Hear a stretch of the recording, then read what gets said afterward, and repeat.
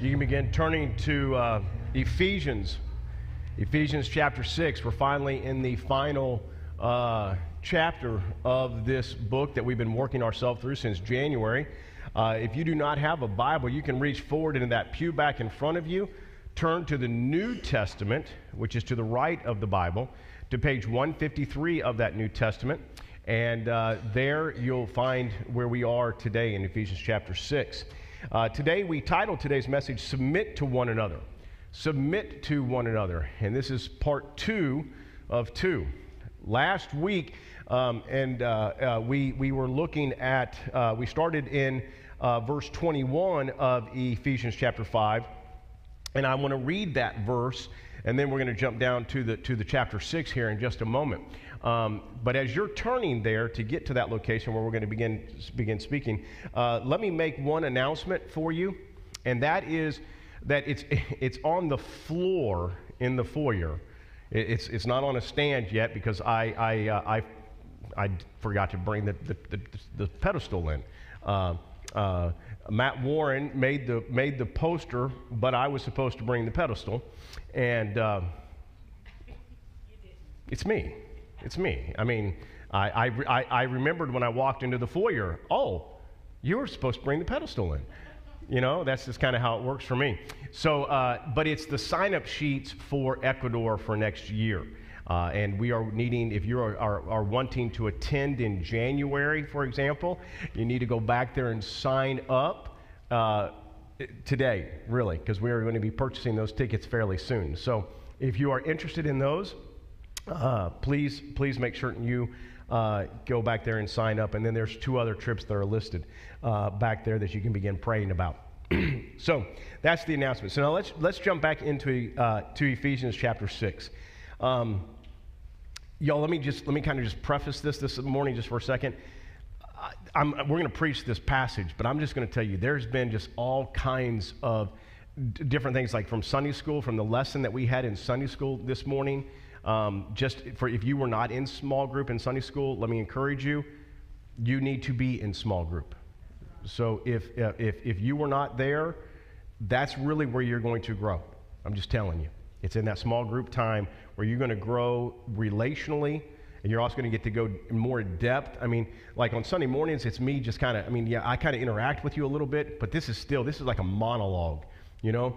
And in Sunday school, you get to talk, you get to ask questions, you get to wrestle through theological concepts and stuff, and you grow deeper in your relationship with the Father and with each other, and it happens in small group. But, but why I'm bringing that up is because, like in Sunday school this morning, we, were, we were looking at is basically the question, this is Scott's paraphrase of the, of the title, was uh, Does everybody go to heaven? That's the basic paraphrase of the, the Sunday school lesson this morning. And I'm just going to tell you, y'all, that's just, it's, it's gripped my heart uh, ever since we were in the class. Is, is we are living in a world where that actually, there is a propagation of thought out there that, oh, yeah, is if you're a good person, if you're a good person, you're, you're going to make it. You're going to, you're going to, you know, God loves good people. And, and then in the course of the conversation in Sunday school, it then got brought up, like, for example, we were, one of them, one of them in my class said, said, you know, just this past week, somebody said to me, how do you know that this is true? It's written by so many men, it's been translated so many times. How do you know that this is true?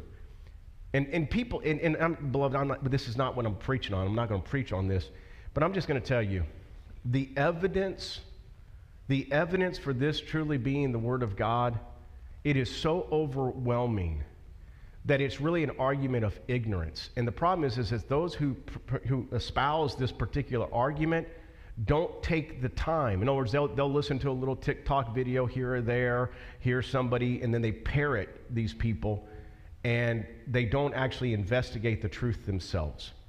The evidence is overwhelming that this truly is the Word of God, written by over 40 authors over 1,500 years, all with a singular purpose.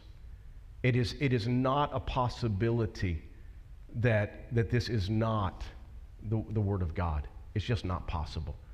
And, and, and there's so many other arguments that can be given to the authenticity and reliability to the Word of God. And so you have to come to the question is, is this book real? And if it is real, and it is real, then you have to ask yourself the question of if it is real and this is the standard that shows us how we're supposed to live life, then how are we doing? So, so in other words, you and your principles cannot be the arbiter of truth. You, you determining what is, what is good isn't good enough. You, you don't get to make an opinion where the scripture has spoken. Okay? And that comes across, and I don't know why this has hit me, but I'm really, I'm really troubled by this because even in what's said in deacons meeting stays in deacons meeting unless it's something like I'm about, but I'm about to mention. Like if we're discussing you all, we're going to keep that secret. We're just going to talk about you all behind your backs, okay? we don't do that. We don't do that.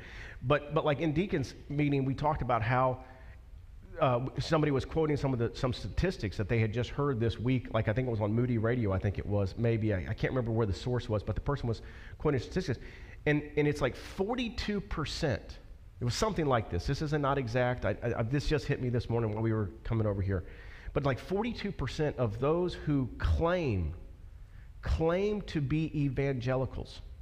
And, and just to let you know, to be evangelical, what, you are, what you're saying when you say, I'm an evangelical, you are saying that Jesus Christ is the only way to heaven.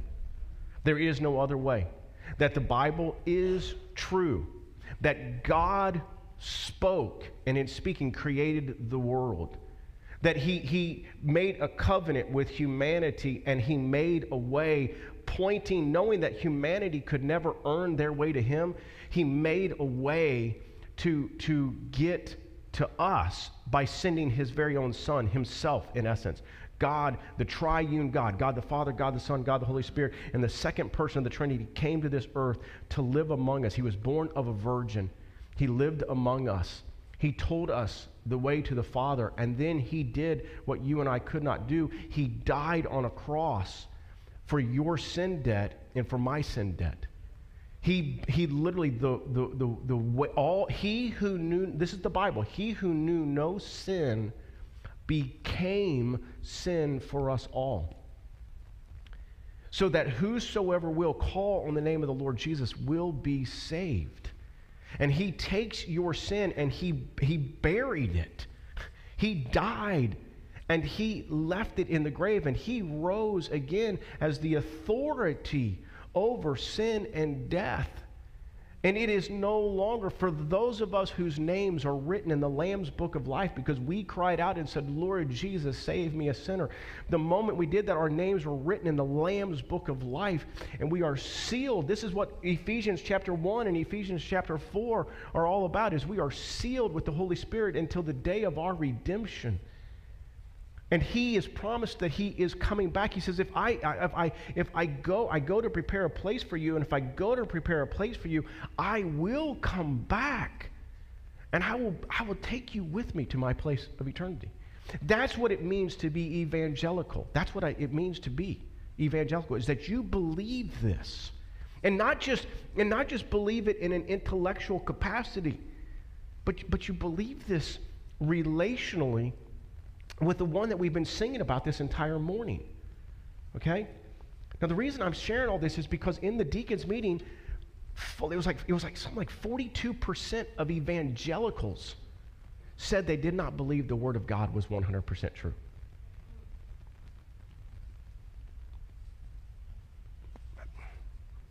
How do you how how how do you do that? How do you do that? How do you make life decisions on every aspect of life? How do you make life decisions on everything you do?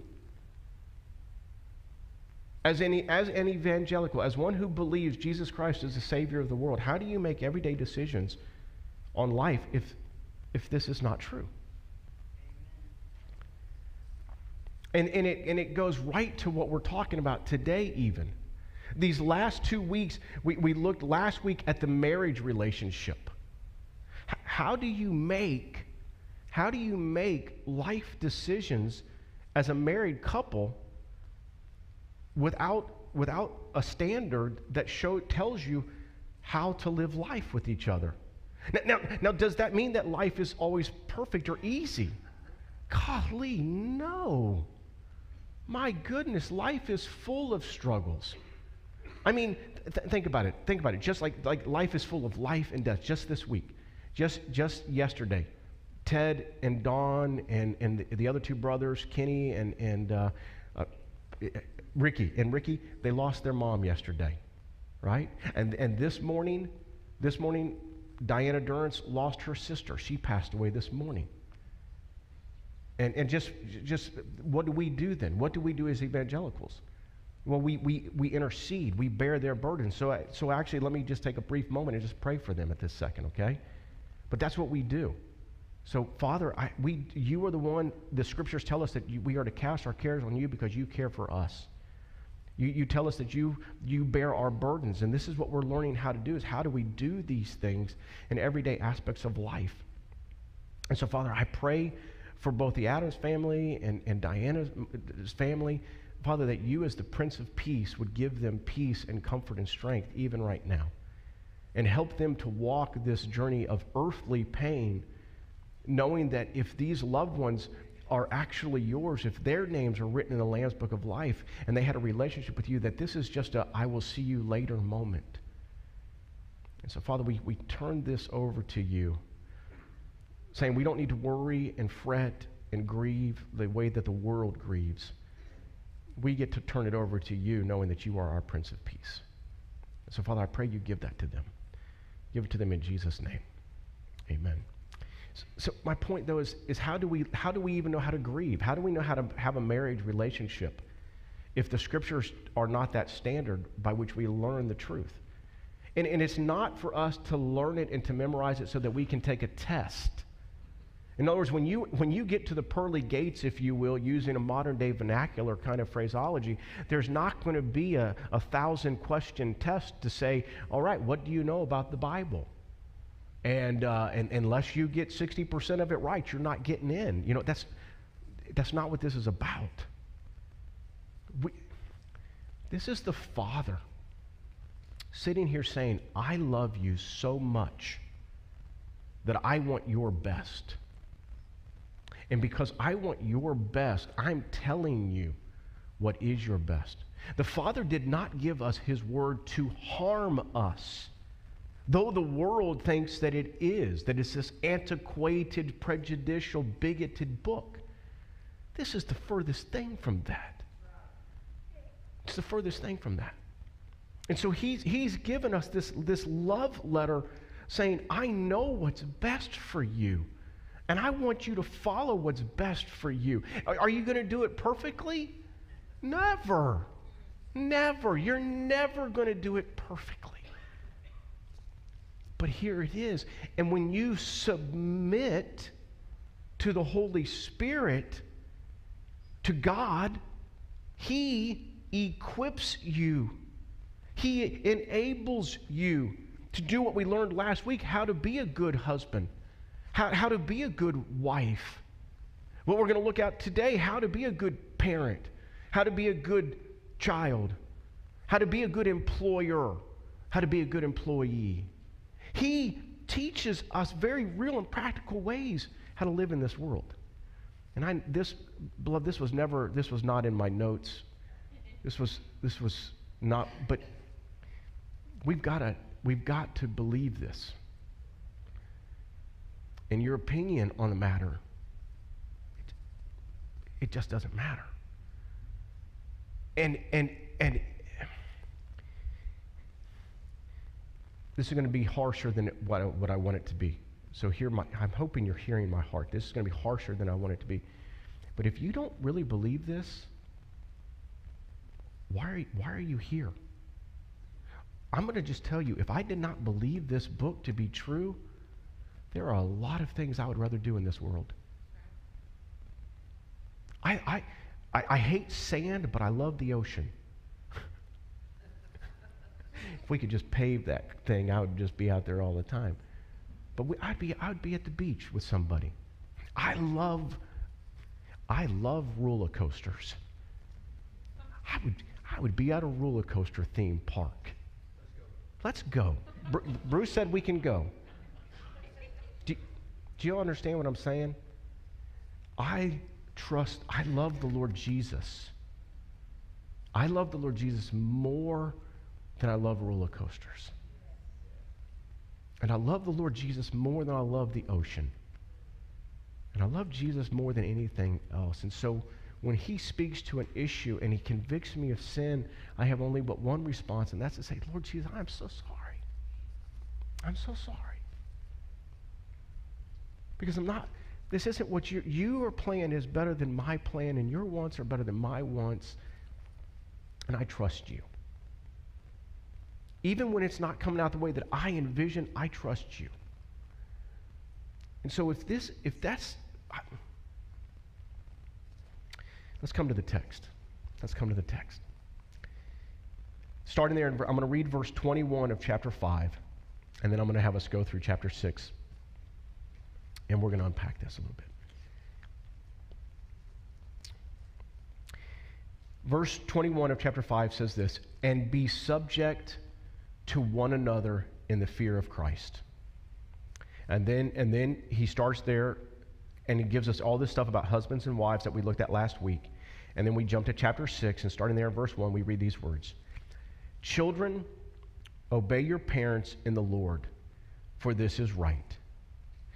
Honor your father and your mother, which is the first commandment with a promise, so that it may be well with you and that you may live long on the earth.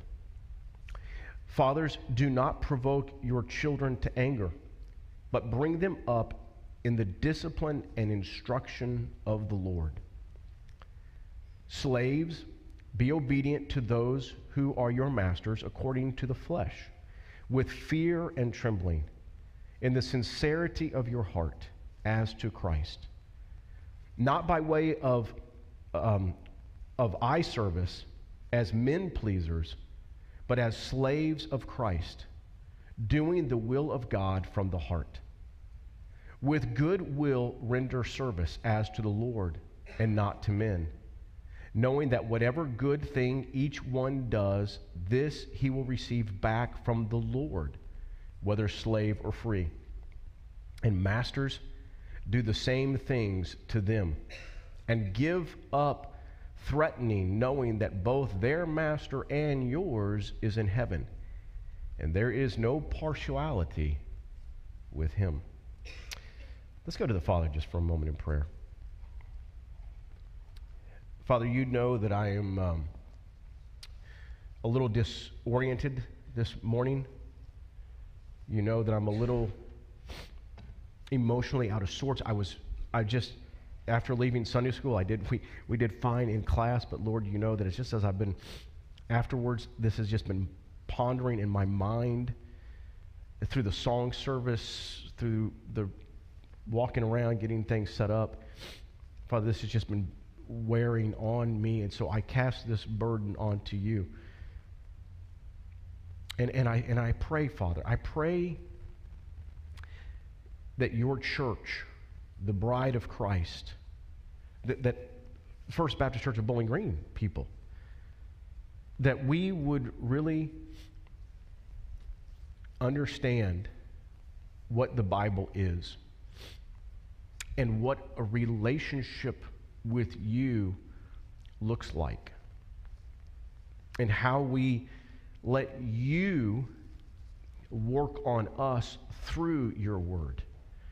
It's not us reading your word, it's really your word reading us.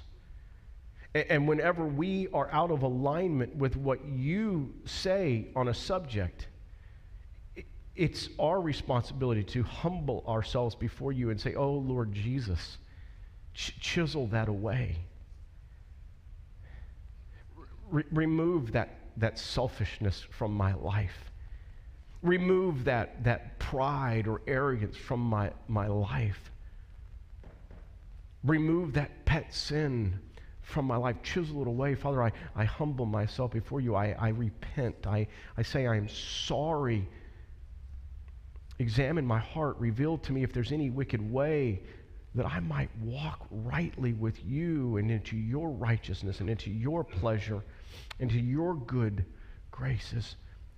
N- knowing that there, that there literally is no condemnation for those of us who are in you, but there is a promise of being conformed into the image of your Son, Jesus. And you take us through this process. And, you know that we are growing intimately with you, relationally with you, day in and day out. And so, Father, I pray even right now, as we begin to look even at parenting and, and work, I pray that we would learn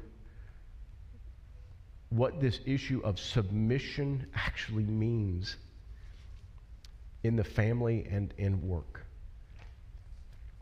And help us to, even as we've been learning, that we're sitting with you, learning from you, we're walking it out now, and we're soon, in the next couple of weeks, going to get to standing in the battle. Father, may we learn how to walk this out in our walk with you. To your great glory, to your great name be praised. We love you, Lord Jesus, and it's in your name we do pray, Jesus. Amen. All right, so the first point, um, well, the, the, first verse, I, I, I want to make, I do want to make a reiteration because of a comment that was made to me in the last service. When we get to that thing that was said, submit to one another, this is verse 21 of chapter 5, it says, and be subject to one another in the fear of Christ. Okay? And we talked out of that, out of that, that is you know, it's what's said before, it's what's said after it. That's the context of the passage. And what we looked at on the front end of this was how we're not supposed to be like drunk on, on uh, wine because that leads to debauchery, but yet we're supposed to be filled with the Spirit. And the only way that we are able to submit to one another is when we have submitted ourselves to the Spirit and to the Spirit's control in our life. And so as we submit to the Spirit, He is filling us. Now, we talked about this even last week how when we get saved, when we get born again, we get all of the Holy Spirit. We, we are sealed with the Holy Spirit. We get all of Him. But his, but his manifestational presence or evidence of Him in our life, that's what this is be filled.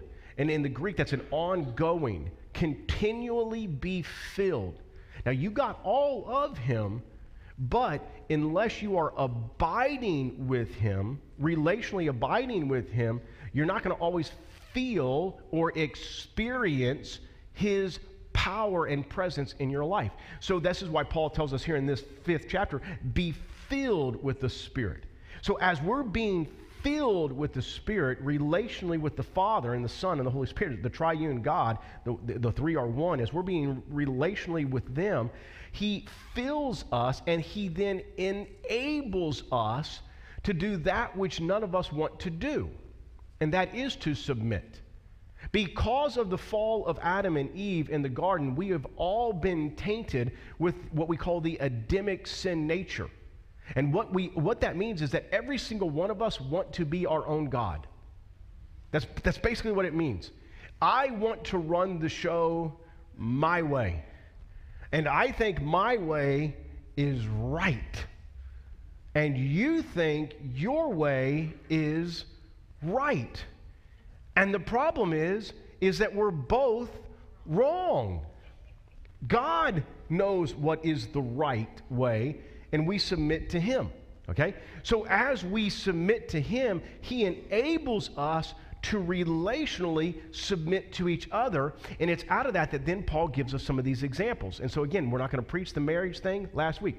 The reason I'm emphasizing this one more time is because somebody came up to me last week and says, Well, Scott, what happens when, like, if, if I were to submit, it would mean, you know, X, and you can fill in the blank, okay? Like, like, like it means that I, like, I don't, like, like I to, like they, they tell me, no, you can't share your faith anymore, for example. That's not what they did, but I'm going to use that as an example. If, if, if somebody said to you, hey, you can't, if the government, for example, came to you and said, hey, you can't share your faith anymore, well, what, what do you do? Do you say, oh, great government, I thank you for you telling me what I can and cannot do? Is that, is that what they do? Okay. What if the government came to us and said, okay, you can no longer assemble as a church, as a body of believers? Do, do we say, oh, great government, thank you for your wisdom and for your understanding that, that, that the church is really irrelevant and we should listen to you? Is that what we do? No, absolutely not. Absolutely not. In other words, we submit to the authority to the point that the authority conflicts with God's standard. Now, now having said that though, having said that, when you do choose intentional rebellion from the earthly authority to submit to the higher and greater authority, the scriptures do tell us that the authority bears the sword for a reason. Okay? So, in other words, like using the example, like if the, if the, if the government said, okay, you guys can't assemble together, and we say, oh, yes, we are, well, what can the government do to us? They can arrest us. They could arrest us. And we then have to sit there and say, oh, thank you, Father, for allowing me to participate in the persecution that they gave to your very own son. Do you, do you understand? So, in other words, you, you submit, like, like for example, and I know some of you challenge are challenged with this. We're using the government illustrations because it's easier, okay? And I know for a fact, because I know my audience, some of you struggle with this, okay? Especially, especially when you have to go to the restroom, okay? But when, yeah, I'm talking to you. When, but when you see that speed limit sign that says 40 as you're hitting into Bowling Green and you got to get to the house, does, that, does it mean anything? I know, that's what I'm saying. That's why I'm, so does it mean anything? When you got to go, you got to go, right? So you go. And that 40 mile an hour sign means nothing. And you even see like, police officer, just follow me to the house just follow me to the house. You can give me the ticket there, but we're to, we got to get there, right? I live that. Now, now Lacey raised her hand, but Lacey is not having to go to the restroom. Lacey only has one speed. Lacey thinks that as soon as you hit the gas, it's all the way. That's the all. Don't tell her, say no. That woman has passed me more times on 17 like she's, she thinks she's Mario Andretti flying by passing the Indy Stein. I'm just, and you're like, whoa, where did it even come from? And it's, and it's Lacey McCoy right up the road. I have no idea what you're paying in tickets, Mike, but it's, golly, bless your heart. You know? So, so my point is this, okay? When you, when you when, when the government says 55 miles an hour is the speed limit or 60 miles an hour or 40 miles an hour, and you don't like it, and you're, you don't think it's the right decision, all right, and you choose to break it, okay, you then, however, accept the consequence when they say, here's your ticket, right? Even when you don't agree with it, okay? Even when you don't agree with it. And that's what this is, that's why I'm using this as an illustration. You submit to the authority. And if you choose to break the authority, you also bear the consequences of that. But if they, if, if, even if you don't agree with the decision they've made, but if it's in contrast to the, to the higher authority, to God, you always submit to the Father, but recognize that the consequences still may come on you. Okay? Now, having said that, now we move to the parenting thing. Okay? And this is where we're going to, this is where we're going to nail this part. Okay? So your first point, and if you're listening, in your listening guide, is this Children, obey your parents. Thank goodness my parents have now passed. This is no longer applied to me because my goodness. No, that, I'm playing. That's silly. I'm being funny. Okay. I, I, would take my, I would take my parents back every day and twice on Sunday. Man, I love my parents. Okay. But obviously, we are supposed to submit to our parents no matter what our age? Phyllis. so when so when you go off, you need to take your mom with you. Okay? Okay? You can't just abandon your mama like that, okay? That's a that's a that's an, I'm right, right, Hazel? See? So, amen. Hazel said amen, okay? So, so Phyllis, obey your mama. Okay? Obey your mama. Okay, let me keep reading here. Okay, so children, this is your first point. Children, obey your parents. Look at verses 1 through 3. And by the way, okay, now look, moms and dads, this I did this last week when we did the marriage thing.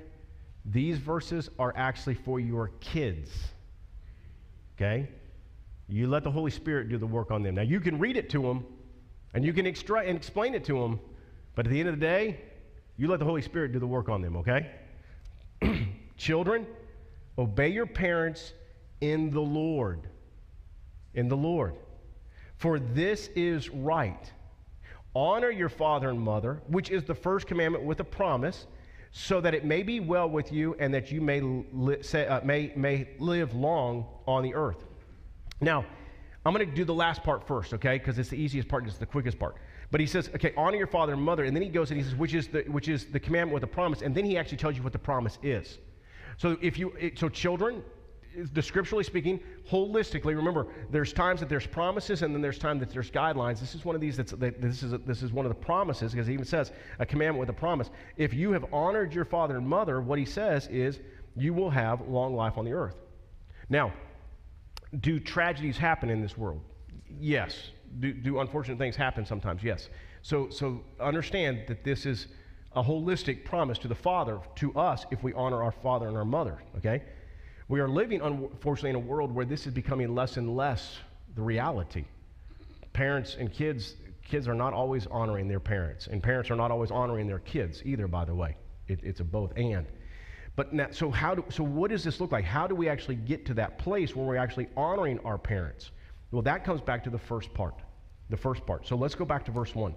So, children, obey your parents in the Lord, which is, for, for, this is right.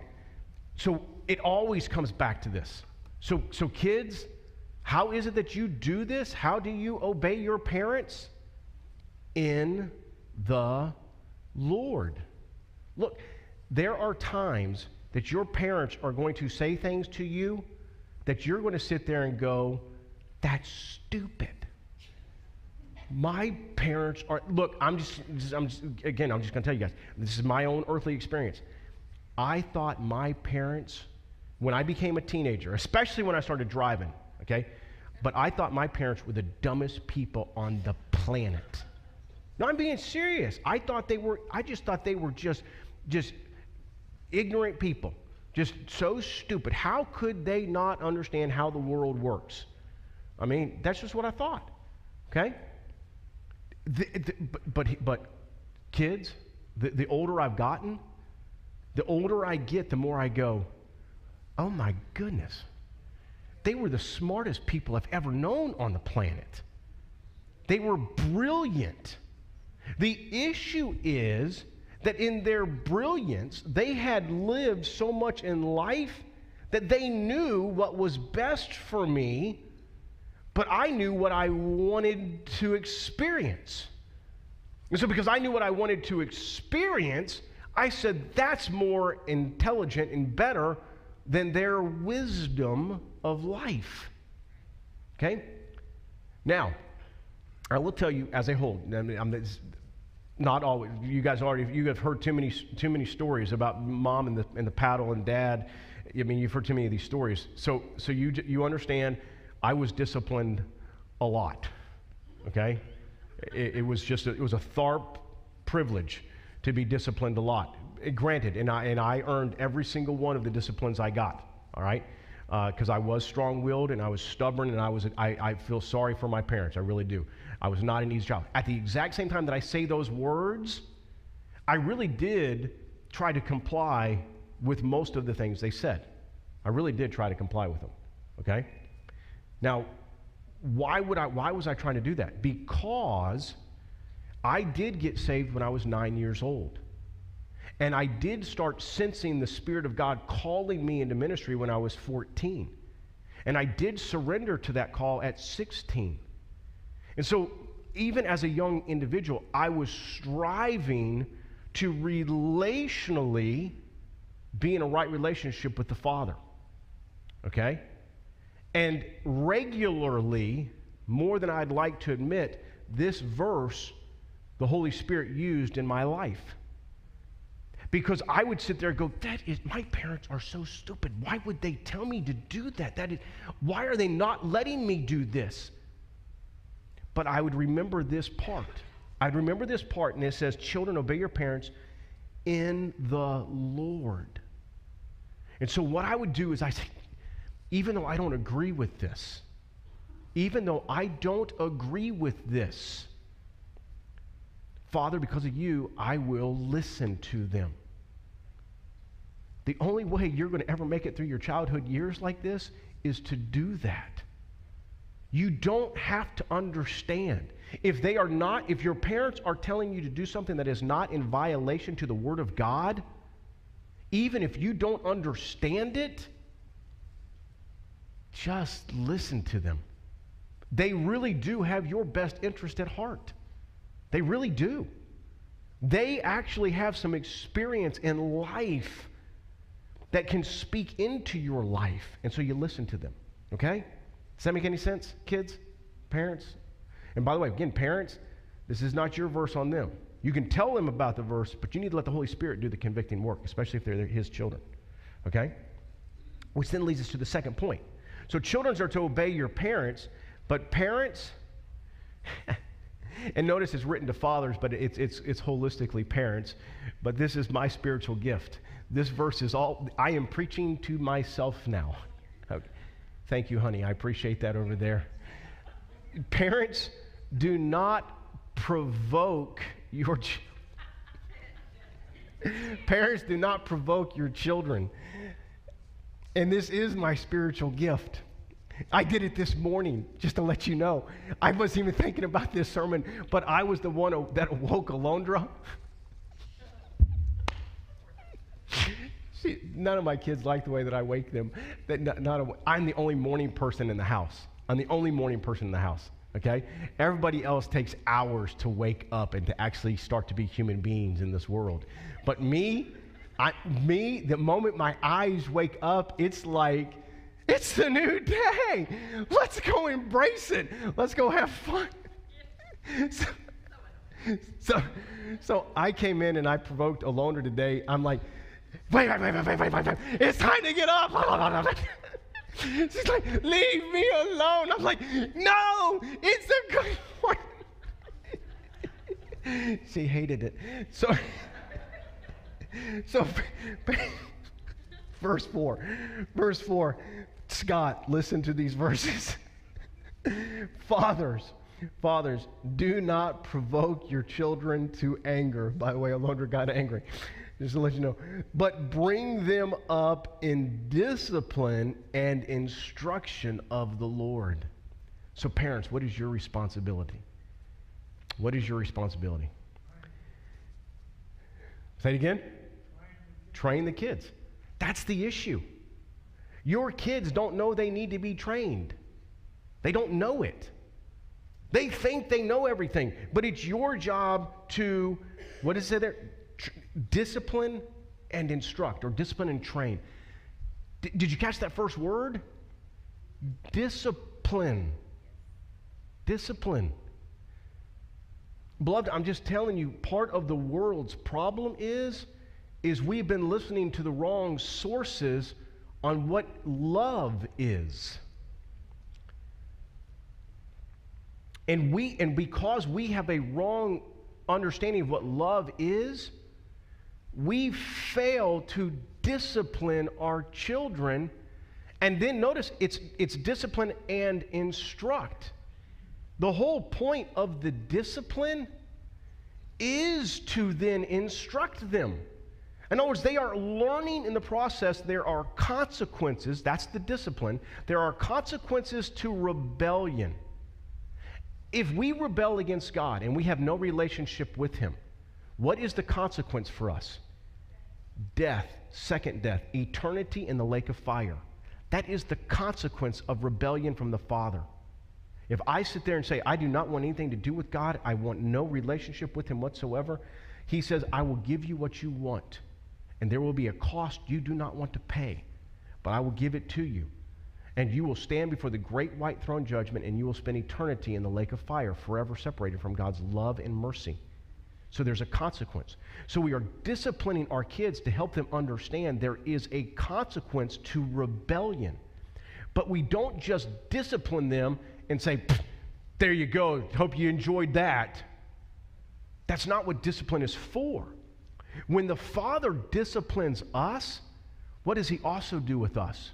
He also instructs us. He then starts to tell us, this is why I don't want you to do that. So, parents, when you discipline your children for their rebellion, then come alongside them and you help them to understand why you did the disciplining as it relates to the Word of God. This is what the Father's standards are. And because this is what the Father's standards are, and we're wanting to learn how to live life as the Father would have us to live life, this is the right response. This is the right response. And you instruct them. And by the way, not every rebellious act is warranted of a, of a, as a, as a, of corporal punishment. But we live in a world where we hear corporal punishment, and the world's like, oh my goodness. But quite frankly, there are times that that is the appropriate response. So use the, the discipline that is appropriate for the, the rebellion. Use the appropriate one. If it is corporal, use corporal. If it's taking away a toy, take away the toy. If it's sending them to their room, send them to their room. Every kid is unique. Use what is the appropriate discipline. I, true, true. I, I'm going to I'm gonna share this in the sermon uh, on, on, Wednesday for, for Ted and, and uh, uh, Ted and Don. Ted, his, he, he apparently had a backside of steel and, and, there, and I'm going to tell a story about that. So his mom said, I'll take care of it. So you know how Ted's mom disciplined him? You know, castor oil. He hated castor oil. I mean, like, like hated it. So she said, the backside won't work. Open your mouth. Enjoy. Enjoy getting his attention to instruct him and to teach him, to discipline and teach. So, parents, that's your job, okay? And not to provoke them to anger. Holy Spirit, help me. Mood number three. Number three. So, children, obey your parents. Parents, do not provoke your children. Now, I've changed the terms this, and I've done it through this whole time during the prayer time and everything. Your third point is this employees obey your employers. Employees, obey your employers. But let's read the verse. This is verses 5 through 8. Notice here it says slaves. And it is talking about slaves. Okay? This is not talking about employers and employees. But this is, in our 21st century context, this is the closest parallel that we have that we can utilize to explain it, okay? But I will want to make a comment about slaves in just a moment. So, slaves, be obedient to those who are your masters according to the flesh, with fear and trembling, in the sincerity of your heart, as to Christ. You notice this kind of theme that's going on. How is it that we are able to submit to our parents? How are we able to submit to our masters, our employers? How are we able to do it? As to Christ, as to Christ, as to Christ, as unto the Lord, as unto the Lord, as unto the Lord. That is how we are able to do it. So, as to Christ, not by way of eye service as men pleasers. In other words, don't obey just when your employer is watching you. Obey even when your employer is not watching you. Not as eye pleasers, as men, uh, uh not, not uh, excuse me, uh, uh, not by way of eye service as men pleasers, but as slaves of Christ, doing the will of God from the heart. See, with God, uh, with, God, with goodwill, render service as to the Lord and not to men, knowing that whatever good thing each one does, this he will receive back from the Lord, whether slave or free. Okay? Now, again, let me reiterate just for a second. You need to understand the Roman population, the entire Roman world, about 25% of the entire population were slaves. Okay? But where the problem comes in is when we use that terminology of slaves, we immediately take it back to like the Civil War time period of slaves. There were situations like that that did occur, but that was not the predominant purpose of slaves like that. Okay? Um, the better way to kind of to kind of think of it is uh, if, if you saw the movie Gladiator, if you saw the movie Gladiator, um, Maximus, the, the general, he has a slave. He has a slave. And the, the, Maximus has a conversation with the slave because the emperor, the Caesar, has asked him to do a task that he doesn't really want to do. He, he had finished his service and he wants to go home to his family, is what he wants to do. But the, the Caesar has asked him to do a, another task. So he's having a conversation in his tent with his slave, his slave. And the slave's response basically, he says, You know, how do you feel about this? And the slave says this He says, There are times I do that what I want to do. And then the rest of the time I do what I have to do. And in the Roman world, a lot of times the slaves, like that servant, I mean, that slave, they, they went around. Later on, that slave actually is going to come back and actually bring up, be a messenger to Maximus when he's in prison himself and, and all these things. They had freedom of mobility, but they were not their own. They were owned. Okay? Um, another example that that one might not have hit some of you, think of the movie um, uh, with Charlton Heston, um, Ben Hur. Ben Hur is of a royal family of, of Israelites, but then becomes a slave, a galley slave. And at the beginning, he's, he's locked up. But then later on, he's, he's elevated and he's still a slave, but yet he's now free to roam about. Well, then in his position as slave, his new owner actually adopts him, and then he's no longer a slave. But up to that point, he is a slave. Now he has freedom, he moves around. He goes there and here and there, but he is still bound by the law, and the punishment of that law was death. This is the way the Roman world worked. And like I said, 25% of the Roman world was slave like that, okay? We don't obviously operate in that kind of system, at least not that kind of way. We are, we are slaves to our taxes, but, uh, but, but, but not like this, not like this time. But we can still apply these same biblical principles to our employers. So, so when we start to look at it is how do we then, as an employee, how do we submit ourselves to our employers? We are obedient to our employers according, um, according to the flesh with fear and trembling. That's how we do it from an earthly perspective. Because from an earthly perspective, if we don't do what our boss says, what can the boss do to us?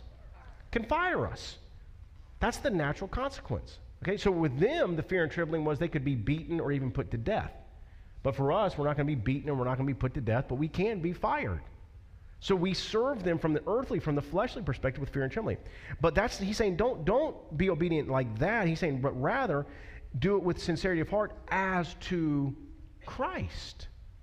So now what is he telling us to do? So as an employee, you're supposed to do your job as if Jesus were your boss. That's how you're supposed to do your job. Jesus is your boss and He's the one that you are reporting to. So do it as unto Jesus. And when you do that, what happens? He says, again, we've already read references, not by way of eye service as men pleasers. Don't do it only when your earthly boss is looking at you, but do it when your heavenly boss is looking at you. And how does your heavenly boss look at you? All the time. His eyes are always on you. So whatever you do, do it as unto the Lord. Okay? And then he goes on, um, but as slaves to Christ, doing the will of God from the heart. In other words, you actually want to do it. That's what it means from the heart. You're wanting to obey your boss, Big G God. You want to obey God. So you're doing it from your love for Him. And as a result, it has implications on your earthly employer.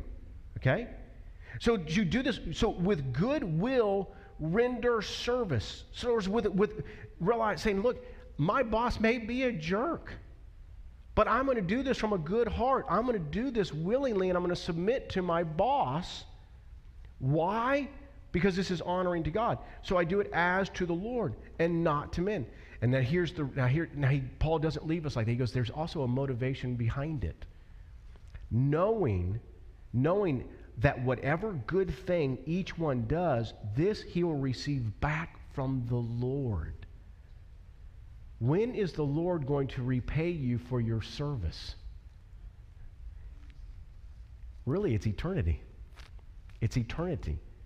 You are rendering a reward, but your reward is an eternal reward. And let me just tell you, you could have the absolute worst boss ever imaginable. But if you do it as unto the Lord, guess what? It is worth it.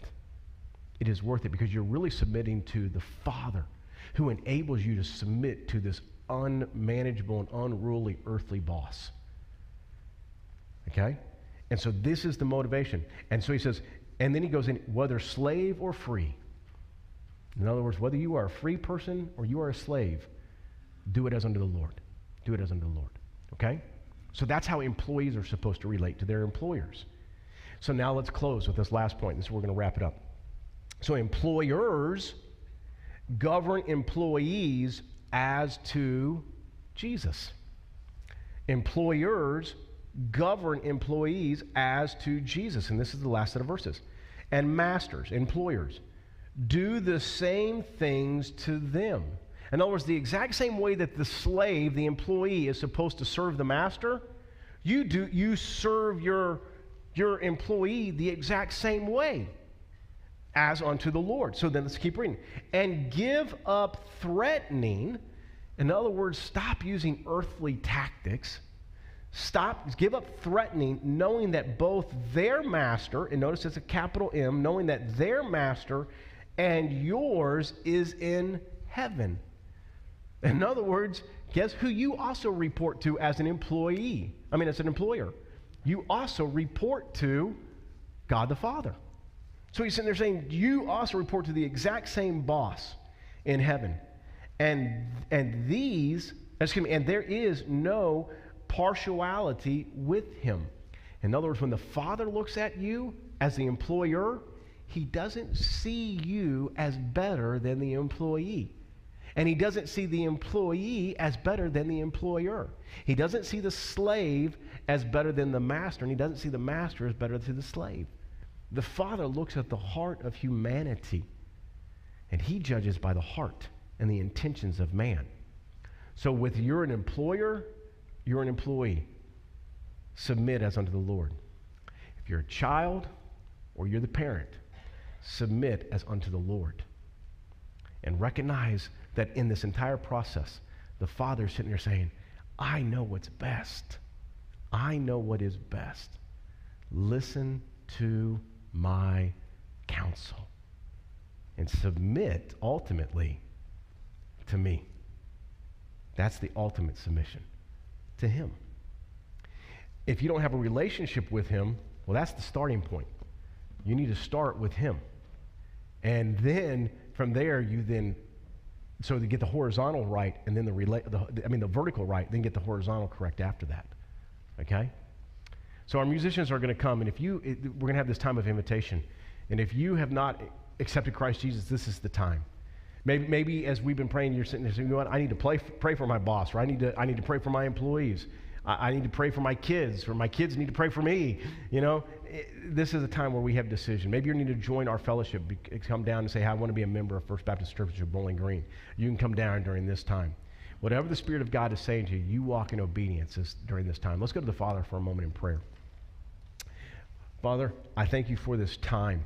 I thank you for this opportunity that we have had to come and to, to open up your scriptures, to sing songs of praise to you, to listen to you, to have you guide us and instruct us. Father, this is your time. And Lord, I know that in some ways the, the sermon was a little weird, especially at the beginning, a little awkward, but Father, you work all things together for your glory and you know you knew who would be here today you knew who would be watching online today and as a result of knowing the audience you knew exactly what they needed to hear, even if it wasn't what I had planned. And so, Father, we submit ourselves to you even right now, humbling ourselves, saying, Your will be done, Father, through the remainder of this service. To your glory, we ask this in Jesus' name. Amen.